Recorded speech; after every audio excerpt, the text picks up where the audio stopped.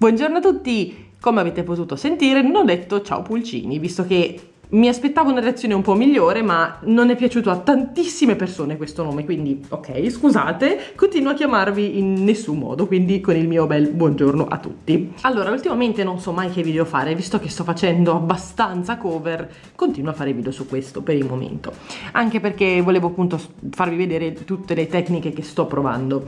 Allora, queste sono le cover che ho fatto vedere nello scorso video, se volete vederle bene andate pure a vedere l'ultimo video che ho caricato e non è che abbia provato grandi tecniche, ho provato il silicone eh, grigio, il silicone nero e quello rosa che avevo comprato penso da Beautiful Molds facendo la cover a metà e per quelli che mi chiedono dove si compra il silicone, si compra in ferramenta. E ieri e oggi ho fatto altre cover. Due le ho fatte usando una tecnica simile a questa e altre due le ho fatte colorando io il silicone. Adesso vi faccio vedere e vi spiego un attimo.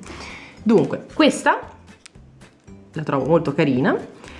Ha la base verde il silicone giallo e le decorazioni verde pastello e giallo pastello.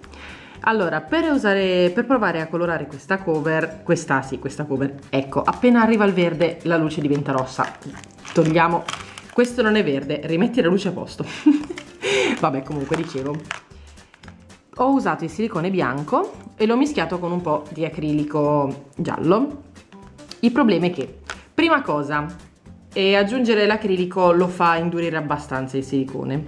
Seconda cosa, questo ho notato solo dopo che sulla scatola c'è scritto che è silicone ad indurimento rapido. Quindi fate conto che io, quando ero arrivata a questo punto, tipo, il silicone era già duro praticamente. Gli ultimi pezzi di silicone, diciamo, li ho dovuti mettere un po' a caso, cioè schiacciavo fortissimo e lo, lo, schiacciavo col dito proprio perché era così duro che riuscivo a schiacciarlo. Fortunatamente sono riuscita a far stare attaccato tutto, ma ho fatto veramente fatica, quindi se volete provare non usate il silicone a a indurimento rapido.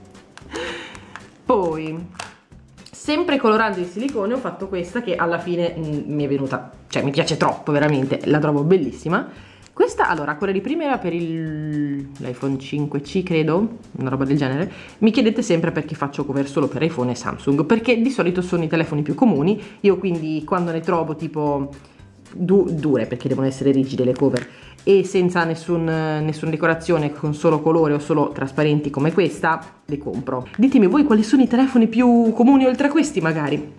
Comunque dicevo, per questo silicone era, questo appunto era silicone trasparente, l'ho colorato con un po' di azzurro acrilico e non so se si vede, secondo me dalla fotocamera non si vede, ma ci ho messo anche abbastanza glitter, si vede di più dal vivo comunque.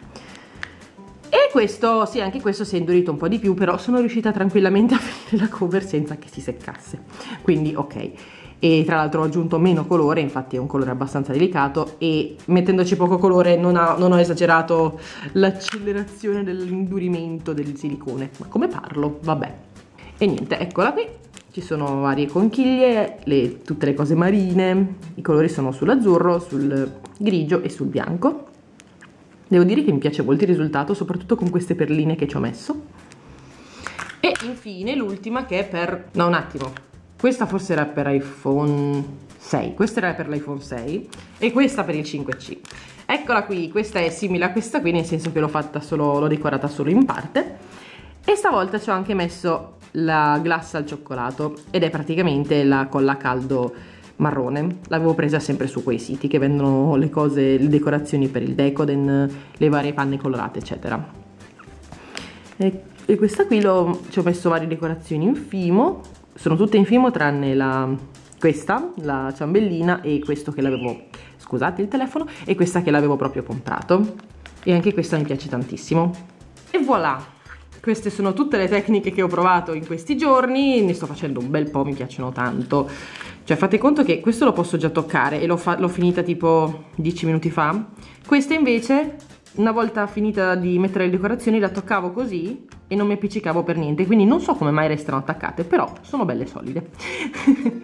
Va bene spero che questo video vi sia piaciuto fatemi sapere quale vi piace di più. Io vi mando un bacione. Ciao